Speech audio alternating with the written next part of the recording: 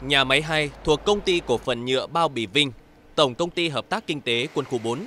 Hiện có 60 máy dệt, trong đó có 48 máy được nhập khẩu từ Đức, Ấn Độ và được đưa vào sử dụng từ năm 2012 đến nay. Qua nhiều năm sử dụng, vòng lược, cụm chi tiết quan trọng nhất trong cấu tạo của máy dệt, bị mòn vẹt cục bộ, dẫn đến gây rung lắc, làm gãy thuyền thoi, đứt sợi, tăng phế liệu và giảm năng suất lao động. Chăn trở với tình trạng trên, sau nhiều đêm nghiên cứu, suy nghĩ, với nhiều kinh nghiệm trong quá trình vận hành, sửa chữa máy dệt, anh Phạm Trung Kiên, Phó Ban Kỹ thuật Nhà máy 2, Công ty Cổ phần Nhựa Bao Bì Vinh cùng cán bộ nhân viên Ban Kỹ thuật đã nghiên cứu cho ra sáng kiến mai mòn vòng lược. Với sáng kiến này, anh Phạm Trung Kiên đã giúp cho công ty tiết kiệm được số tiền gần 3 tỷ đồng thay thế vòng lược mới. Nếu như để làm cho cái máy hoạt động ổn định trở lại thì nó bắt buộc phải thay toàn bộ cái hệ thống huyền thói bằng lược đó nhờ vào cái uh, kiến thức sẵn có của mình cùng với anh em thì chúng tôi đã nghiên cứu chế ra cái bộ máy lược bằng cái hệ thống cấp điện của nó là nhờ cái bộ cấp điện trồi than của góc ba pha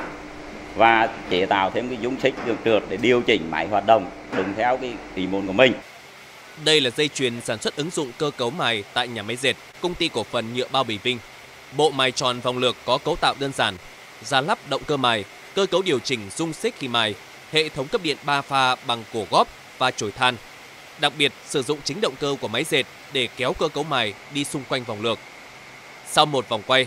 dung xích của cơ cấu mài được điều chỉnh. Lúc này, máy mài cắt đi phần nhấp nhô của bề mặt vòng lược. Cứ như vậy, cơ cấu mài hoạt động mài phẳng vòng lược như mới. Sáng kiến này tuy đơn giản nhưng tính hiệu quả nó rất cao.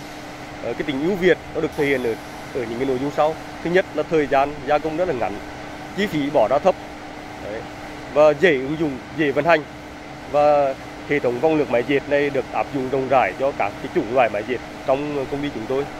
À, vòng lược máy dệt sau khi được ờ, uh, mai đưa vào sử dụng vẫn phát tinh phát huy tính năng suất hiệu quả như ban đầu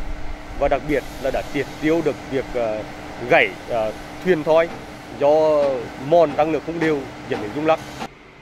Bằng tâm huyết, nhiệt tình, tận tâm, tận tụy với công việc và tinh thần lao động sáng tạo, anh Phạm Trung Kiên đã nêu gương sáng trong thực hiện phong trào thi đua lao động giỏi, lao động sáng tạo của Công đoàn Quân khu 4, đem tài năng và trí tuệ của mình cống hiến và mang lại lợi ích rất lớn cho tập thể, đồng thời góp phần nâng cao năng suất lao động. Chúng tôi à, đánh giá rất cao về cái sáng kiến mai tròn à, phong lược máy dệt của đồng chí Phạm Trung Kiên rất thiết thực và hiệu quả và đặc biệt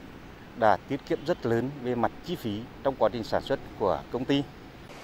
Sáng kiến nhỏ song lợi ích rất lớn. Với sáng kiến hữu ích này, anh Phạm Trung Kiên đã góp phần làm sáng lên tinh thần lao động sáng tạo, làm chủ khoa học công nghệ của người cán bộ, đoàn viên công đoàn quân đội thời kỳ mới, thúc đẩy phong trào thi đua, lao động giỏi, lao động sáng tạo, phát triển rộng khắp trong lực lượng vũ trang quân khu 4.